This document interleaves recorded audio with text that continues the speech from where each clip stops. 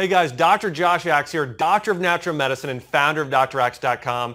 On this video, I'm going to share with you all of the benefits of rosemary essential oil and how to use it. And I think it would blow your mind with what you're going to learn about all of the benefits of rosemary oil. And I believe it's one of the most underutilized out there for supporting energy, adrenal health, mood, detoxification, fighting cancer, and a whole lot more as I'll share with you in this video. So for starters, rosemary oil is the extracted component used through steam distillation to extract the volatile oils from the rosemary plant. Okay, so it's concentrating some of the therapeutic oils from rosemary, okay, through steam distillation. And what we get from rosemary oil are three main compounds, camphor oil, pinene, such as alpha and beta pinene, and cineol. And these compounds together really are what giving, uh, are really what give rosemary essential oil all of its incredible benefits. And let's jump here into step number one, or the number one benefit of rosemary oil. It's for naturally thickening your hair and supporting natural hair growth. Now listen to this.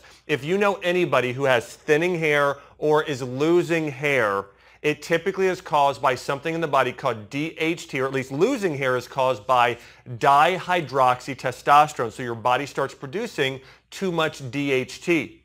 Well, the way to combat that is through taking certain herbal compounds that lower your body's DHT response. One of the number one herbs that does that is rosemary or specifically rosemary essential oil helps combat DHT. So it actually can stop losing your hair in its tracks. The other great benefit is because of how it supports the thyroid, the adrenals, and other organs in your body, it helps naturally thicken your hair. If you're getting thinning hair, that's typically a result of emotional stress. It can be nutritional deficiencies. It can be also stemmed from the health of your adrenals and your thyroid. Rosemary helps with those things specifically. So again, here's what I'd recommend you do. If you have thinning hair or loss of hair growth, you can take rosemary essential oil in a capsule form, a drop two to three times daily or get it in a supplement. The other thing you can do though is make your own at home hair thickening serum. What you're going to do is do several drops of rosemary oil just on your scalp, about five to 10 drops, and just massage it into your scalp. Leave it there for about 30 minutes to an hour, and then you can shower off anytime at night uh, that, that you'd want to, or you, you can wear it throughout the day. But again, you want to massage that rosemary into your scalp. Do that one time every single day. You can mix it with a little bit of a carrier oil like an olive oil. But again, rosemary oil is best. The next best after rosemary is going to be cedarwood and sage. All of those oils together help naturally thicken the hair. And I would recommend making your own at-home shampoo with aloe vera gel and rosemary oil. Just those two things, using that as your natural shampoo, the best natural hair thickener out there. So rosemary, the number one essential oil for naturally thickening your hair. The other great thing about rosemary oil, it is again the number one essential oil for supporting brain health and memory and focus. Now, I had a professor come to me a few years ago. He said, hey, Dr. Axe, I want to let you know I have a secret thing I do with my students to help them get better tests, uh, better grades on their exams. I said, well, what do you do? He said, I do a combination of rosemary oil, vetiver, and cedarwood, and I diffuse that in my classroom. But we know using rosemary oil is great for memory. The way I'd recommend you use it is do about three drops of rosemary oil, rub it on the temples, the scalp, and the back of the neck. But really right there on the temples is a great place to rub on rosemary oil directly on the skin. You could also mix it with a little bit of olive or coconut oil and sort of rub it on your neck, head, and, and forehead, uh, temple area. But again, it is great for memory use that once to twice daily. It's also great for children with ADHD. If you have a child with ADHD, I do a blend of lavender, rosemary, cedarwood, and vetiver. Rub it on their skin and body before they go into the classroom that morning. It's great for ADHD and for supporting focus there. The other thing, and by the way, it's also been shown to be great for Alzheimer's and dementia any type of memory support. If you have brain fog, it's also fantastic. So rosemary oil, great oil for that as well. The other thing a lot of people don't realize about rosemary oil, it is incredibly beneficial for reducing inflammation and pain. Now, part of that is due to the alpha pinene that's found in rosemary oil. The other compounds, they're all anti-inflammatory. The camphor and cineol are all anti-inflammatory. So if you struggle with arthritis, so you've got pain in your joints or muscle pain, any sort of joint or muscle pain, you can do a mixture of rosemary oil with a little bit of coconut oil, rub it directly on the skin. And I like doing a blend of a warming and cooling oil so you could also add in wintergreen or peppermint oil. So peppermint oil helps cool the area, rosemary helps reduce inflammation, and then ginger oil helps warm the area. So you can make your own at-home muscle rub, mixing those with coconut oil to reduce inflammation if you've got a painful joint or muscle there as well. A few other great benefits, and these last two are absolutely huge.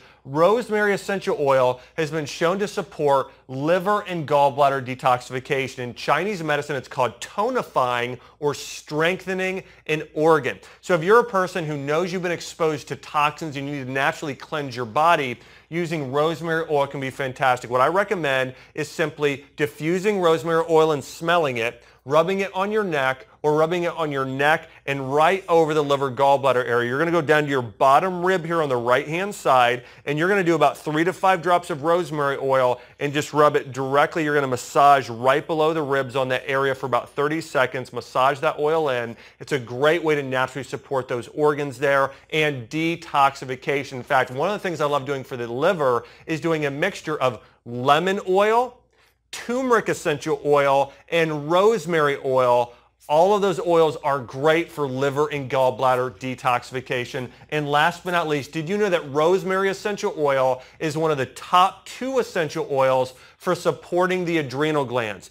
If you suffer with adrenal fatigue, chronic fatigue, low energy levels of any type, or high cortisol levels, Medical studies have proven rosemary essential oil can support the adrenal glands and help balance out cortisol levels. We know cortisol levels, if it gets too high, it's known as the aging hormone. So by using rosemary oil daily, you can actually age more slowly and naturally support the body. Also, if you've got adrenal fatigue, I would use rosemary oil. I would do several drops on the low of your back, right around where your kidneys are, which is where your adrenal glands lie, as well as on the front of your neck, and then get a diffuser and diffuse rosemary oil as well. It is absolutely fantastic for supporting the adrenal glands, balancing out cortisol levels, and naturally boosting your energy levels. In fact, to boost energy, I love doing a blend of peppermint oil with rosemary oil. Simply smelling those two together, rubbing those two together, diffusing those two together is great for the body. And one thing I forgot to, for, to mention,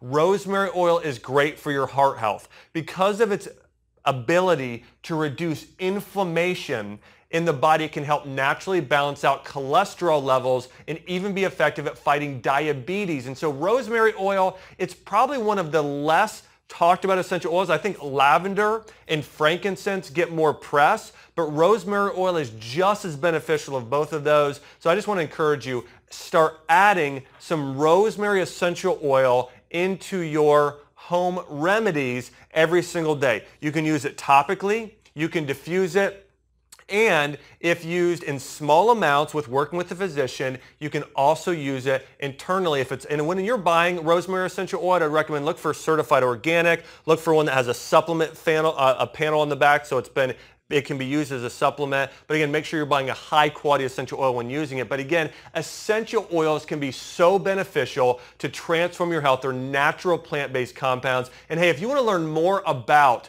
rosemary essential oil, just Go to Google right now and search Dr. Axe rosemary oil. I have a whole article there uh, getting more in depth on rosemary oil. And also make sure you subscribe here. I've got a lot of new videos coming out here in the future on more essential oils, herbs, and natural remedies that can help you heal your body fast. Hey guys, this has been me, Dr. Josh Axe, talking about the many benefits of rosemary essential oil.